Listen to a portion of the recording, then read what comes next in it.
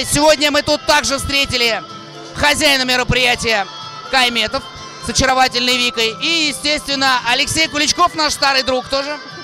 И вопрос такой на засыпку всем троим, надолго мы их не будем отвлекать.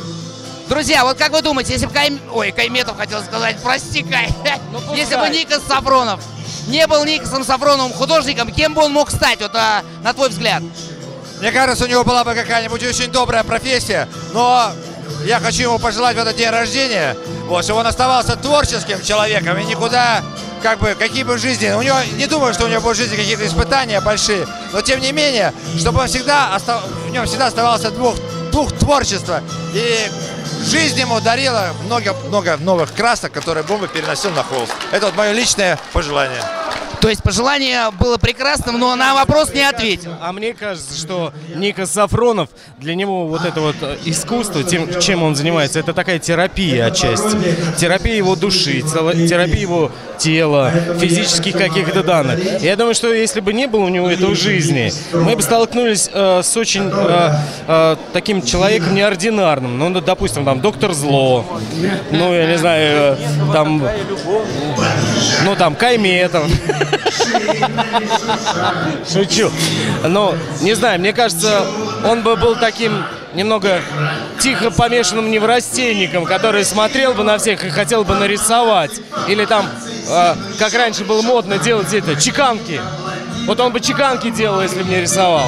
Хорошо, каким бы, по-твоему, зверем он мог бы родиться, если бы не родился человеком?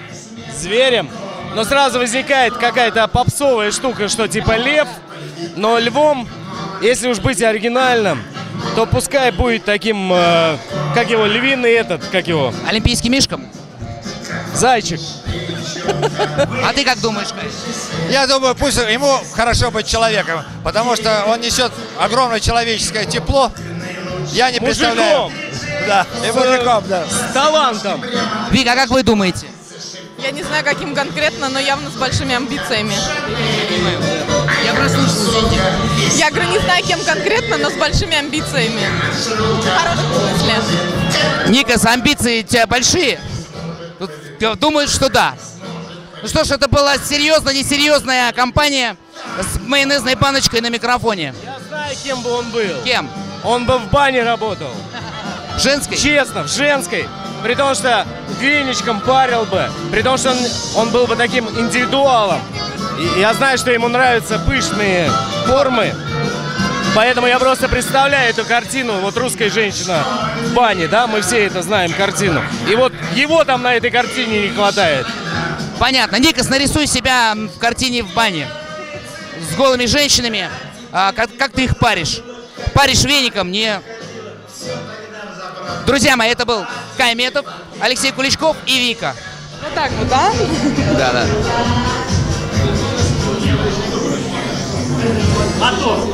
Ну что ж, друзья, э, мы здесь э, в кулуарчиках так вышли и встретили здесь замечательную актрису Марину Орлову.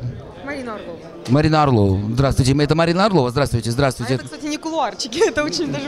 Да, это очень даже... Ну, кулуарчики, это же не обязательно, э, так сказать, задворки, да, подворотни. Это как раз э, вот кулуарчик, потому что здесь хотя бы можно разговаривать. Мариночка, вот скажите, вот вы человек творческий, да, вам, ну, как бы в карты в руки, потому что творческие люди, они всегда легко м- прощаются со своими собственными мыслями, да, легко. А, то есть они дарят их там всем окружающим. Скажите, вот если бы Никас вдруг не стал художником, а стал кем-то другим, как вам кажется, кем он мог бы стать? Кем он мог бы стать? Имея такую фактуру, там... Да-да-да. Ну, раз карты мне в руки, может быть, он бы мог был быть картежником? Мог бы. Вот представляете, стоит Никас Сафронов на улице с картами и вот разыгрывает все это. Мне кажется, это возможно, как Дэвид Копперфильд.